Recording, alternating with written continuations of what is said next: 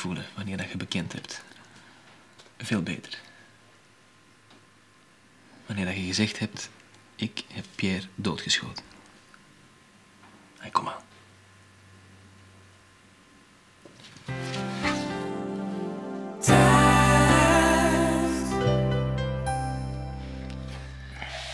Soms doet je ondoordachte dingen als je over de grens wordt geduwd.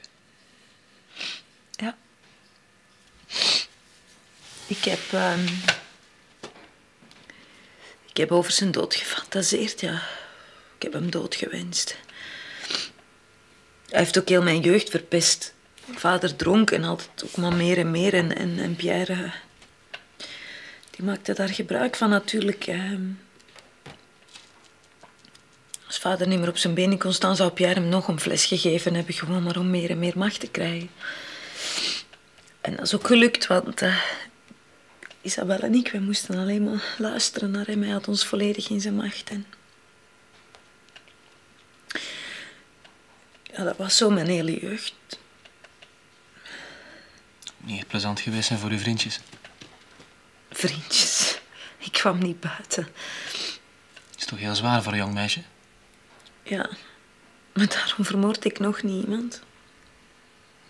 Je hebt hem willen doden. Waarom fantaseert je er anders over? Jij nog nooit gefantaseerd dat uw leven makkelijker zou zijn als één bepaald iemand er nooit meer zou zijn? Ja, maar daarom wens ik die persoon toch nog niet dood.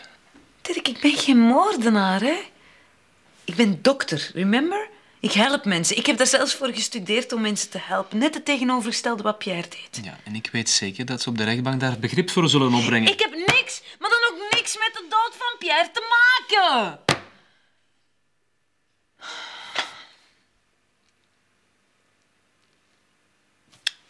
Oké. Wat is er dan precies gebeurd in die studio? Laten we alles nog eens op een rijtje zetten. Jij bent naar de studio gereden van Pierre. Hm? Omdat je dacht dat Werner daar was. Omdat je gezien had dat de revolver van Werner weg was. Ja. Wat is er precies gebeurd in die studio? Ik, ehm, ik ben er naartoe gereden met, met Werner zijn auto. En ehm, toen ik eraan kwam, heb ik mijn auto daar geparkeerd en ben ik naar binnen gelopen. De deur was los, dus.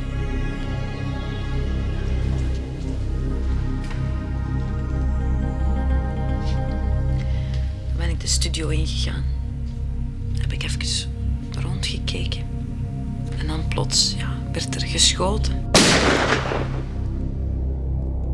Werner? Werner? En ik weet niet hoe lang, maar ik heb daar toch even aan de grond genageld gestaan. Ik kon niet begrijpen dat er geschoten werd. En ik was ook bang. Maar toen, ik weet niet na hoe lang, besefte ik van het zou Werner kunnen geweest zijn. Dus ik heb hem geroepen een paar keer, denk ik, ja. En ehm, kreeg geen antwoord. Ik hoorde niks, dus dan ben ik verder de studio ingegaan tot aan de schminkkamer. En daar, ja, daar lag hij, Pierre. Doodgeschoten. Ineens besefte ik dat de persoon die dat gedaan had, daar ook nog moest zijn. Dus in de schminkkamer of, of in die kleedkamer. En ja, op het moment dat ik dat besefte, heb ik mij omgedraaid en ben ik weggelopen. Was in paniek, kun je dat begrijpen? Nee. Nee, ik begrijp het eigenlijk niet, nee. Jij bent toch arts? Je komt bij mensen thuis, je moet toch al raar dingen gezien hebben. Je hebt zelf ook al veel meegemaakt. En toch, toch slaat geen paniek en loopt je weg. Ik heb al veel meegemaakt, ja. Professioneel en privé ook. Maar dat maakt me nog niet immuun. Trouwens, ik was zeven maanden zwanger. Kon van alles gebeuren met mijn kind, hè. Uw zwangerschap was nogthans geen probleem om u in de strijd tussen Werner en Pierre te gooien. Heb jij nog nooit iets, iets ondoordacht gedaan, Dirk? En toch loopt jij weg. Terwijl dat je weet dat iemand daar uw hulp nodig heeft. Uw eigen broer, nota bene. Misschien had je hem nog kunnen helpen. Nee. Als je hem onmiddellijk verzorgd had. Nee, Pierre was al dood. Kon je niet weten, want je bent niet gaan kijken, heb je zelf gezegd. Je bent onmiddellijk weggelopen. In paniek.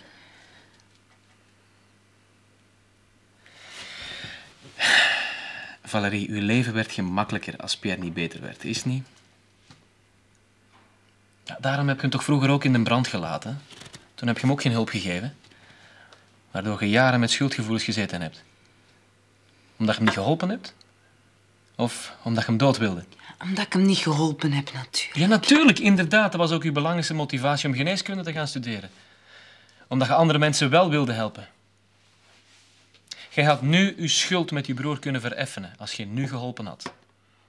Waart je voorgoed je schuldgevoel kwijt geweest. En daarom geloof ik uw verhaal niet. Het is geen verhaal, het is de waarheid. Oké, wel, ik heb naar uw versie van de waarheid geluisterd. Nu zal ik u mijn versie geven. Je bent naar daar gegaan. Je hebt ruzie gekregen. Van het een woord is het ander gekomen. Het is uit de hand gelopen en hij is u beginnen bepotelen. Ik bedoel, hij was verliefd op u. Je mocht zelfs geen vriendje hebben. Eh, Nog erger, je waart nu zwanger van Werner. Misschien heeft hij wel willen verkrachten en jij hebt u beginnen verdedigen. En op de een of andere manier heb je zijn wapen te pakken gekregen en heb je hem doodgeschoten. Nee, ik heb niet geschoten. Je bent in paniek geslagen en je bent weggelopen. Wat heb je met die revolver gedaan? Maar ik heb geen revolver aangeraakt. Maar je waart in paniek omdat je nooit verwacht had dat je iemand had kunnen doodschieten. Stop daar nu toch mee. Wat heb je met die revolver gedaan, Valerie? Heb je meegenomen naar uw wagen? Waar heb je hem verstopt? Waarom gelooft jij mij niet? Dat is de waarheid dat ik zeg, hoor. Geloof mij nu toch, alstublieft. Allee, wat had jij nu gedacht? Dat Patrick zou gezwegen hebben over uw verleidingspoging? We hebben er eens goed kunnen mee lachen. Jij bent verdomme nog een grotere smeerlap dan dat ik dacht. Leontien, wat blief? Maar je liegt gewoon over mij.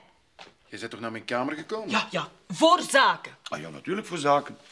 En zaken, dat doet altijd best in een hotelkamer met een bed. Voilà. Ik wou over verkammen spreken, alleen over verkammen. Ja, over Leontien verkamen zeker.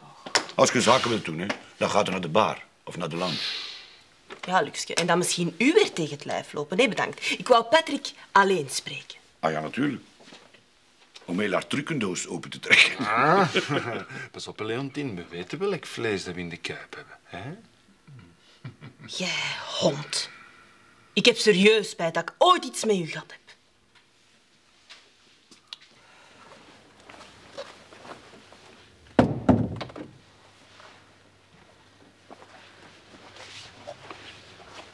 Ik was zo gelukkig toen je bij ons kwam wonen.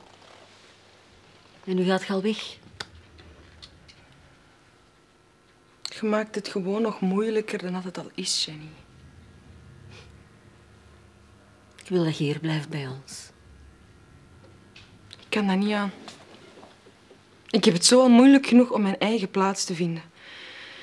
Ik kan er de problemen van Dre echt niet bij nemen. Maar praat dan eerst nog eens met hem. Je moet hem nog een kans geven, maar het is toch uw pa? Je weet toch hoe moeilijk dat is voor een alcoholieker om van een drank af te blijven. Ik heb twee vaders en dan zijn ze God nog allebei alcoholist. Toch nog iets is gemeen hebben. Alleen de ene kan er beter afblijven dan de andere. Les, zeg. Nu zeide jij hier ineens niet meer. De Dree zal het nog moeilijker hebben om van een drank af te blijven. Maar waarom kan die daar nu gewoon niet afblijven? Misschien ziet hij ons gewoon niet graag genoeg, hè? Nu zegt je zomaar iets, hè. Je weet dat dat niet waar is. Dree ziet ons heel graag. Hé. Een sjoefeltje. Jij ziet hem toch ook graag? Ik ben bij jullie komen wonen, Jenny. Om mijn echte vader te leren kennen. En niet om een zatlap te leren kennen. En zo kan ik hem ook niet leren kennen, hè. Want het enige wat hij doet, is ons belegen en bedriegen. Maar moet je hem dan nu niet persoonlijk zeggen? Dat hem zijn eigen tenminste kan verdedigen? Ik wil het niet meer horen, Jenny. Ik weet wat ik gezien heb. En ik heb trouwens mijn besluit al Ja, genomen. maar kind, ik begrijp zin, maar ik, ik vind dat spijtig. Ik vind je dat spijtig, hè? We functioneerden zo goed samen, wij drieën. Misschien niet goed genoeg, hè. Ik vind dat ook echt spijtig voor u, echt waar. Ik vind het spijtig dat ik u moet achterlaten nu dat zo moeilijk wordt. En aan mij moet je niet zien. Maar een je zal het heel erg vinden. U heeft er zelf voor gezorgd. Hè. Je gaat het heel spijtig vinden, Marie. Ik moet eerst alles eens op een rijtje zetten. Ik moet eens nadenken over mijn twee vaders. En dan zien we wel. Maar nu... Nee, nu nog niet.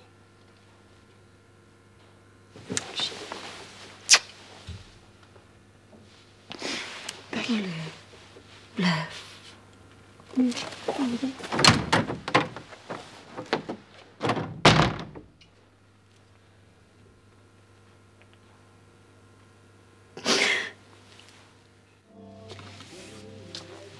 Ga je vandaag nog naar het moederhuis?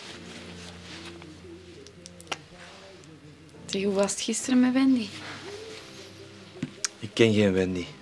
Allee, Werner, dat is uw kindje toch? Kindje van Valerie en mij, dat heet Julie. Als je dat niet kunt onthouden, hè, dan moet je eens dringend naar een dokter. Je hoeft er dan nu zo dik in te maken, hè? Ik ben toch gewoon geïnteresseerd in dat klein meisje dat daar helemaal alleen in het ziekenhuis Die ligt dan niet helemaal alleen. Iedereen zorgt voor haar.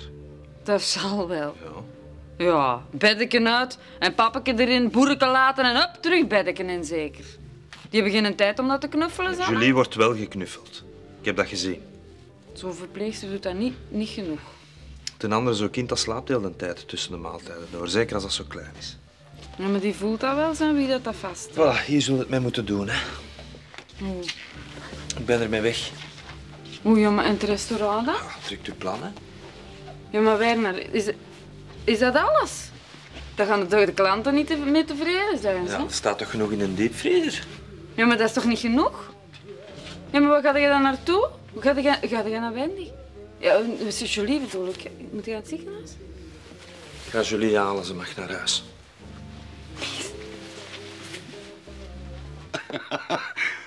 Patrick, goed kijken. Want ze begint te blazen, ons kat. Jij bekakt ventje.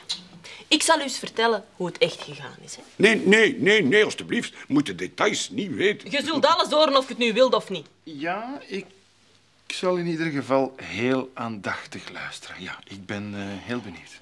Ik ben dus inderdaad naar die hotelkamer gegaan, dat klopt. En Patrick liet mij binnen. In kamerjas. Allee, gij. Ah ja, dat kwam dan goed uit, of wat? Laat mij uitspreken. Hij wilde absoluut gaan douchen en als ik hem wilde spreken, moest ik mee naar de badkamer. En toen meneer klaar was, kwam hij gewoon uit de badkamer met een handdoekje voor. Hij kwam naar mij toe en toen liet hij smeerlap die handdoek vallen. Ik ben onmiddellijk weggegaan. Allee, Leontien. Maar jij bent toch echt ongelooflijk, hè? Jij zou toch echt heel ver gaan hè, om alles naar uw hand te zetten, hè? Maar ik zet niks naar mijn hand, Patrick. Zo is het gegaan en niet anders. In uw dromen zeker. Dat is Patje. Wordt het een beetje warm onder uw voetjes, hè, nu de waarheid aan het licht komt. Allee, kom aan, Leontien. Denk je nu dat ik dat geloof? Dat jij zo preuts zou geworden zijn. Zo ken ik u niet, hè? Hij gelooft me dus niet. Met uw reputatie, nee, nee. Mannen onderheen. Jij vergeet één klein detail. Je bent naar zijn kamer getrokken. Dat heb je zelf verteld. En wel, het is heel spijtig. Maar ik geloof, Patrick.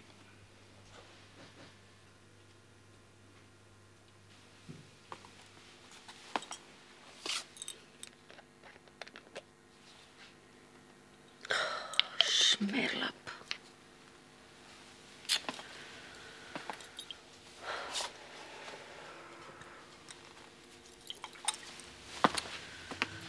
Tju, hè. Ja?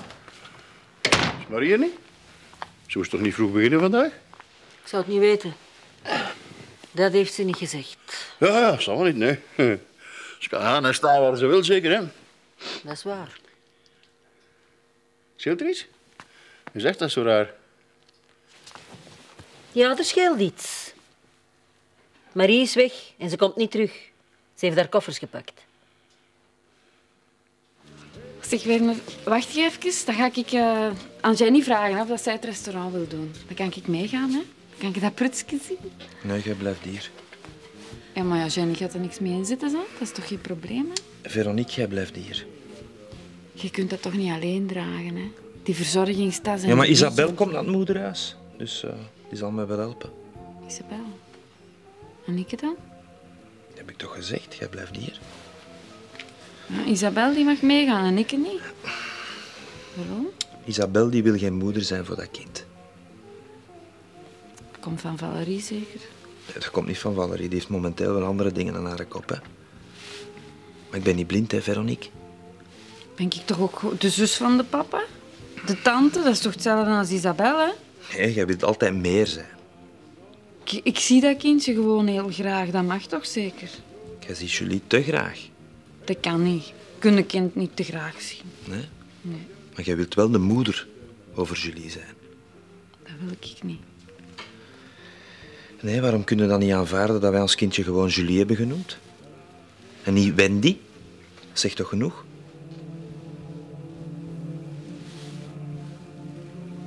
Ik zal nooit meer Wendy zeggen. Ik wil alleen maar helpen. Nee, Veronique, jij wilt van de situatie profiteren. Ik weet ook goed genoeg dat een kind bij zijn moeder hoort. Ja, dat is zo. Ja. En normaal zou Valerie moeten meegaan naar het moederhuis en dat kan nu niet. Maar jij kunt in ieder geval geen moeder van dat kind zijn. Nu niet, nooit niet. Toen ik geopereerd moest worden, hè, toen heb jij gezegd dat je een kindje ging krijgen. En dat dat ook een klein beetje van mij ging zijn. Gezegd. Uit compassie. Maar het is uw kind niet, Veronique. Ik wil alleen maar helpen. Ik wil niet dat je helpt.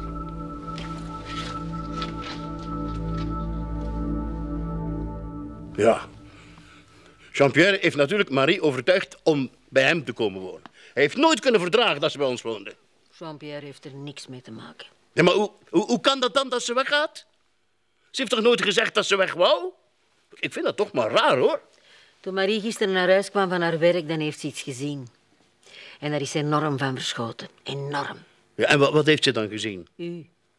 In een café. Mij? In een café?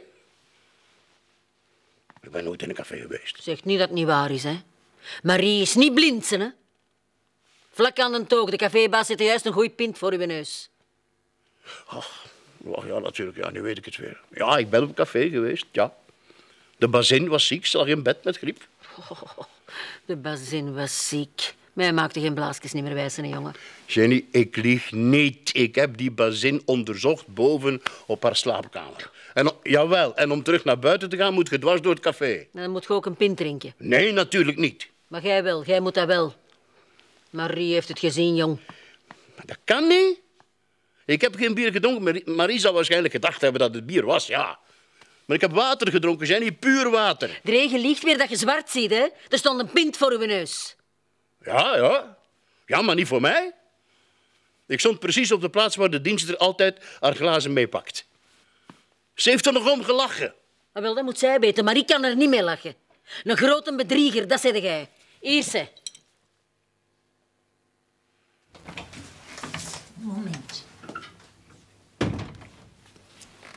Madame Marianne. Meneer Luc Bomans is hier. Luc Bomas? Wat komt hij hier doen? Dat weet ik niet. Zeker dat hij voor mij komt. Misschien moet hij een dokter hebben. Nee, nee, nee, nee. Hij heeft heel duidelijk naar u gevraagd. Ah, bon.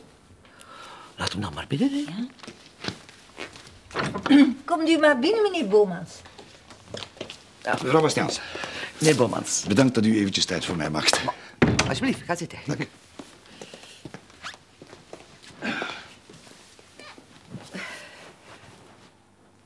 Felicien, word jij niet ergens bezig?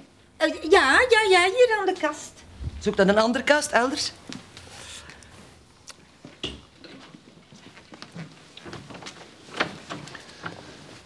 Zo, zo, eh, ik had u graag eens gesproken over een, eh, een zakelijke aangelegenheid. Ah, Wat is dat? Dat zul jij beter weten dan ik. Dat is whisky. Ja. Zo stom ben ik. Zo stom dat ik u nog altijd vertrouw. Waar heb ik dat vandaan gehaald? Zat in uw dokterstas. Marie heeft dat gevonden toen wij gaan wandelen zijn, omdat jij je ziek voelde. Nog zoiets. Ga ik wandelen met u omdat ik compassie heb met zo'n zieke mens? Goeie grapsen, hè? Allee, een mislukte grap. Dat zat zeker niet in mijn dokterstas. Dreke, één ding weet ik zeker, Marie liegt niet. Daar heeft ze ook geen reden voor. Het kind was er trouwens kapot van. Ik heb dat niet in mijn tas gestopt. Nee? Dat zweer ik. Nee? Nee. Ah, wel, eh, dan is er ingevlogen, Dreke? Jenny, Jenny, je moet mij geloven. Ik drink niet meer. Ik ben al vijf dagen nuchter. Ik heb in dat café geen bier aangeraakt. En ieder van dat flesje weet ik helemaal niks. Jij blijft met mijn voeten rammelen, hè? Denkt jij nu echt dat ik onnozel ben? Ik wil respect. En dat betekent dat ik het recht heb om te weten wat jij uitspookt achter mijn rug. Hoe kan ik u nu verder vertrouwen, Dree? Ik doe godverdomme de nal om u te steunen en om, en om u te helpen. En het enige wat ik daarvoor in de plaats krijg zijn leugens en nog eens leugens. Dat is niet waar. En ik apprecieer geweldig wat jij allemaal voor mij doet. Weet jij dat ik Marie heb willen overtuigen om nog eens met u te klappen voordat ze wegging? Ik dacht dat ze hem nu toegeeft dat hem gedronken heeft. Hè. Dan heeft ze er misschien begrip voor. En ik ook. Maar jij vertikt het gewoon om de waarheid te zeggen. En wel, ik ben blij dat ze weg is. Dan heeft ze die nonsens allemaal niet moeten horen. Jenny, luister, hè. Als jij wilt dat ik aan u zeg dat ik weer drink, dan zal ik u dat zeggen. Maar dat zou dan pas een enorme leugen zijn. Maar die doen nog voortzoenen? Zeg, Dre... Oh, jij... Jij zei het niet waard dat ik alles voor u doe. Jenny. Nee, want jij trekt de wijgen van mij niks aan. En zeker niet van wat ik voel. Jongen, ik ben zo beu als koupap. En mag ik nog eens iets zeggen? Ik laat u ook beter zitten. Gij is een vuile zatlap. Jenny, alstublieft. Doe dat niet. Laat me Jenny, gerust. Jenny, alstublieft. Jenny!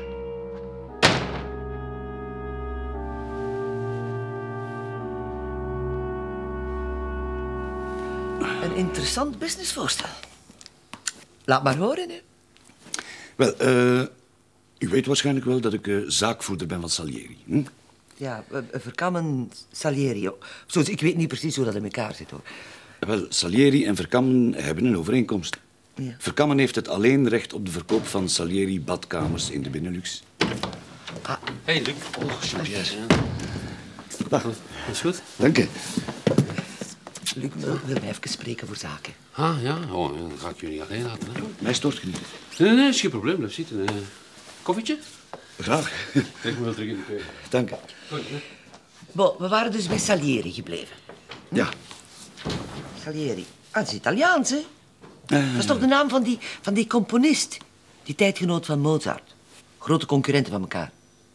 Ja, ik ken hem alleen als de grote baas van de badkamers daar. Het zal wel dezelfde niet zijn. Ja, misschien verre familie, hè? In elk geval staat Salieri garant voor echte klassebadkamers. En eh dat nog wat niet wil zeggen dat er in de badkamers van Verkammen geen muziek zit. hè. Mijn badkamer is anders nog prima in orde, hoor. Wel, mevrouw Bastiaans, ik ben hier niet bepaald om u een badkamer te verkopen. Dat dacht ik al. Op dit moment heb ik 40% van de aandelen van Salieri en Verkammen. Met nog eens een optie op 20% van de Verkammen aandelen.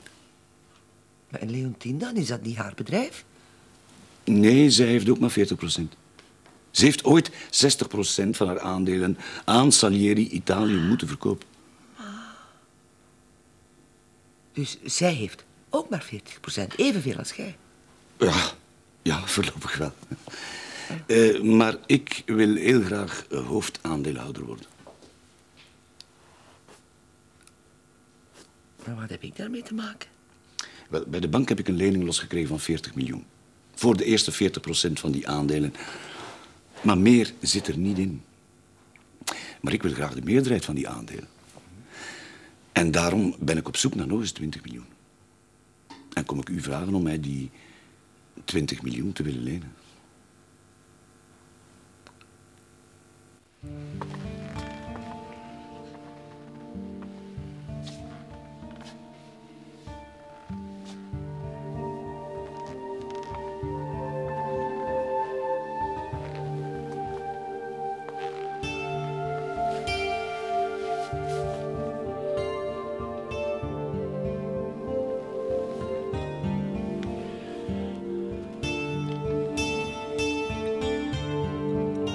Iemand moet dat flesje in mijn tas gestopt hebben.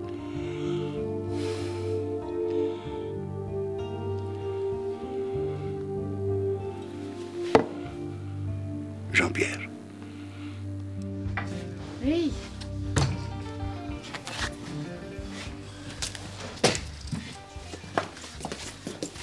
Ah, Angelique is er, zeg. Oeh, die zit er niet in? Ah. Werner. Ja. Hier is ze. Hoi.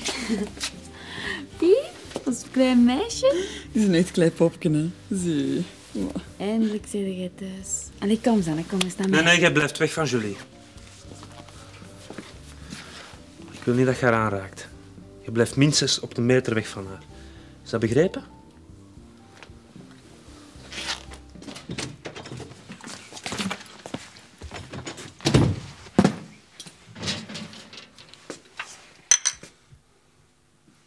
Voilà, zie je het?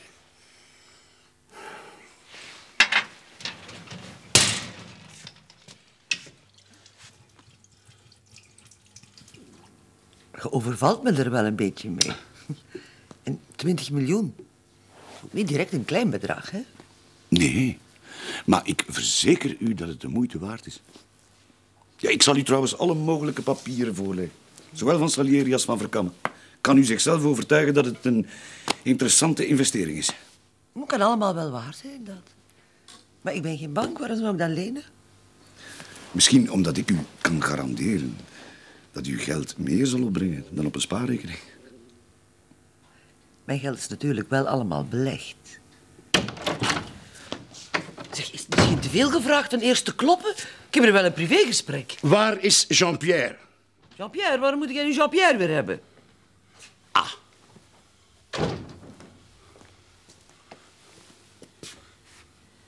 Jij zit hier voor iets tussen. Hè? Is het niet?